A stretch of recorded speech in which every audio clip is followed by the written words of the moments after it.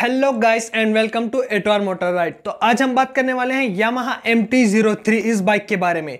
इस वीडियो में आपको इसकी specifications price launch date India की, आपको सब जानकारी इस वीडियो में मिल जाएगी। तो गाइस इस वीडियो को लास्ट तक देखना, क्योंकि पहले के वीडियोस लास्ट तक नहीं देखते और कमेंट में कहते हैं लॉन्च डेट कब है इस बाइक की?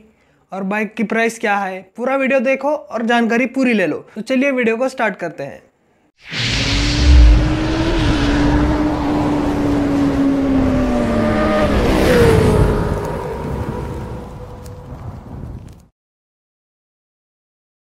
बात करते हैं एम टी ज़ीरो थ्री के लुक्स की।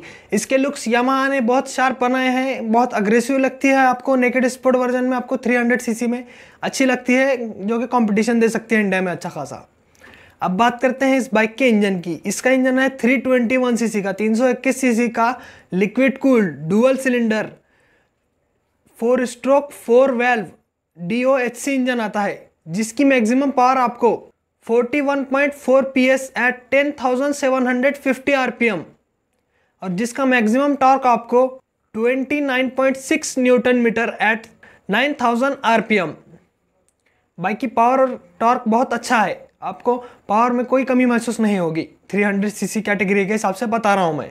ट्रांसमिशंस में आपको सिक्स स्पीड गेयर बॉक्स दिए जाते हैं जो कि आपको टूरिंग करने में बहुत मदद करेंगे। एम टी ज़ीरो थ्री की टॉप स्पीड आपको कंपनी क्लेम करती है 170 किलोमीटर पर आवर की, जो कि बहुत ज़्यादा है 300 कैटेगरी के हिसाब से, और आप 180 तक टच कर सकते हैं क्योंकि ये यामाहा की तरफ़ से आ रही है बाइक तो ज़रा पावरफुल होगी।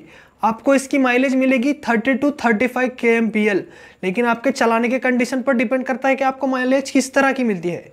टायर साइजेस की बात करूँ तो आपका फ्रंट में 110 70 17 इंच का फ्रंट टायर और रियर में 140 70 17 इंच का रियर टायर। टायर वाइडर हैं, लेकिन वो 300 सीसी कैटेगरी में आपको रियर में 150 सेक्शन का देना चाहिए था। यामा ने इधर कॉस्ट कटिंग की है।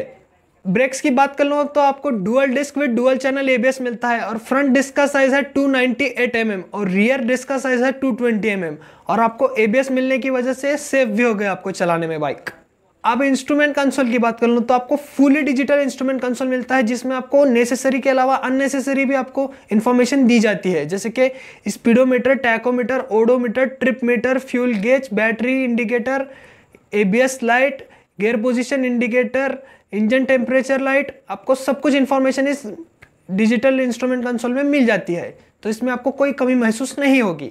सस्पेंशन की बात कर लूँ तो आपको फ्रंट में 37 सेवन mm का अपसाइड डाउन फोक मिलता है और रियर में मोनोशॉक मिलता है।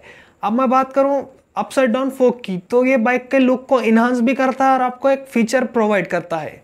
चैसिस की बात करूँ तो आपको डायमंड फ्रेम पर दी जाती है बाइक ताकि आप हायर स्पीड्स पर भी इस बाइक को आसानी से मनूवर कर सकें हैंडल कर सकें, इसलिए ये डायमंड फ्रेम पर आती है bike seat height 780 mm ground clearance 160 sixty mm seat height shorter rider 5 foot का भी होगा तो आपको चलाने में कोई तकलीफ़ नहीं होगी, क्योंकि सीट हाइट बहुत कम रखी गई है। ग्राउंड क्लियरेंस 160 सिक्सटी mm रहने की वजह से आपको गड्ढों के रास्ते या ऑफ़ भी करेंगे तो आपको, आपके बाइक को कोई तकलीफ़ नहीं होगी चलाने में। बाइक का वेट 169 किलोग्राम है, जो कि 300 कैटेगरी के हिसाब से ठीक ठाक है। ज़्यादा हैवी भी नहीं है, ज़्यादा लाइट वेट भी नहीं है। और आपको टैंक कैपेसिटी 14 लीटर की दी जाती है 14 लीटर की। इलेक्ट्रिकल सेक्शन की बात करूँ तो आपको हेडलाइट टेल लाइट और इंडिकेटर्स इस सब कुछ आपको एलईडी यूनिट मिलते हैं। आपको कहीं भी हाइलोजन देखने को नहीं मिलता। अब बात कर लेते हैं इस बाइक की प्राइस की। अब ये बाइक की प्राइस तीन लाख एक शोरूम हो सकती है। क्योंकि यमा ब्रांड की तरफ़ से है, इसलिए थोड़ी बहुत कॉस्टली भी लगेगी आपको। लेकिन इसमें आपको फीचर्स भी अच्छे देते हैं और इंजन की पावर फिगर्स भी बहुत अच्छे हैं। आपको टॉप स्पीड भी अच्छी मिलती है माइलेज भी अच्छी मिलती है। अब बात कर लेते हैं बाइक के लॉन्च डेट की। तो बाइक की लॉन्च डेट एक्सपेक्टेड है दिसंबर 2021 2021 के एंड तक आपको ये बाइक इंडिया में देखने को मिलेगी। जब भी आएगी, आपको इसी चैनल पर जल्द से जल्द अपडेट कर दिया जाएगा। तो गाइस इस वीडियो को लाइक करो, अपने दोस्तों के साथ शेयर करो। अब बात कर लेते हैं बाइक के कॉम्पिटिशन की। बाइक का कॉम्पिटिशन होता है K T M Duke three B S six इस बाइक से। और दूसरा कॉम्पिटिशन जाता है Honda C B three hundred R ये भी बाइक से हो सकता है क्योंकि ये भी three hundred C C category की बाइक है। और एक बाइक आती है जो कि है Benelli T N T three hundred I ये तीनों बाइक इसे कड़ा टक्कर दे सकते हैं, लेकिन ये बाइक के जो लुक्स हैं M T three M T zero three की बात कर रहा हूँ मैं। इसके लुक बहुत अच्छे हैं और यमा ब्रांड के अंडर आने से आपको इंजन भी पावरफुल देखने को मिल सकता है।